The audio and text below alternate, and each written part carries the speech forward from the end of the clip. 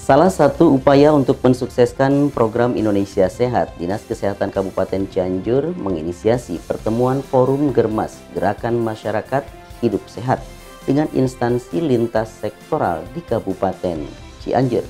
Dan berikut ini kita simak liputan selengkapnya.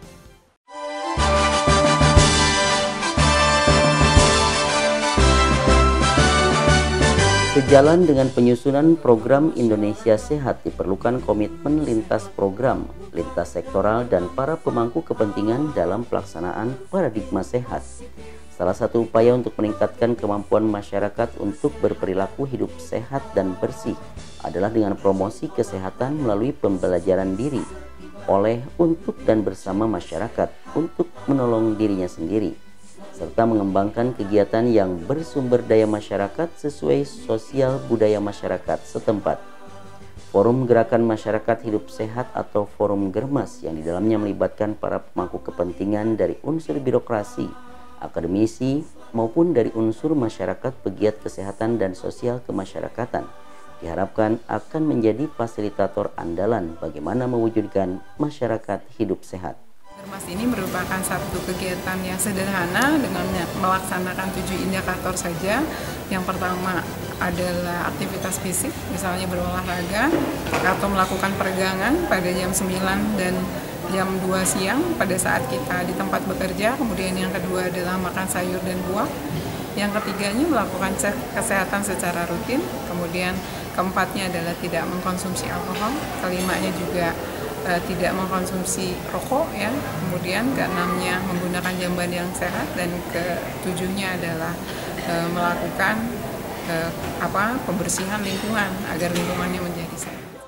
Menuju masyarakat hidup sehat diakui Ketua Forum Germas masih ditemukan banyak kendala dan tantangan yang harus dihadapi. Program Germas ini adalah untuk mendukung kalau di Kabupaten Cianjur untuk mendukung forum kota sehat yang sudah ada jadi uh, ini untuk implementasinya sehingga kita betul-betul ke depannya itu akan membuat masyarakat seluruhnya itu harus mengikuti pola hidup yang sehat dan semuanya itu harus dicontoh di, diberikan contoh tentu oleh kita sebagai uh, pembinanya nanti di lapangan. Mudah-mudahan dengan dukungan ini insya Allah seluruh masyarakat di Cianjur akan minimal mungkin dari tingkat uh, kesakitannya dan memang semuanya akan menjadi hidup polanya sehat. Forum diskusi yang kita lakukan ini sebetulnya sebagai media wahana bagi semua unsur yang terlibat dan peduli kesehatan untuk ya kita ingatkan kembali dan menyamakan visi kembali uh, ke depan kesehatan Cianjur memang perlu ada perbaikan-perbaikan yang lebih uh, mendasar lagi kaitan tadi pemberdayaan masyarakat tentunya yang muncul dalam uh, forum diskusi ini.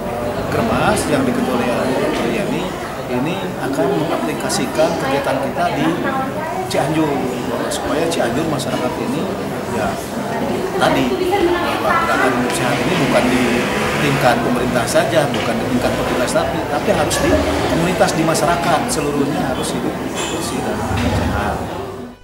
Sinergitas seluruh komponen masyarakat diharapkan ada akselerasi kesadaran pentingnya hidup sehat di masyarakat. M. Ardan untuk Lintas Cianjur. rutin cek kesehatan.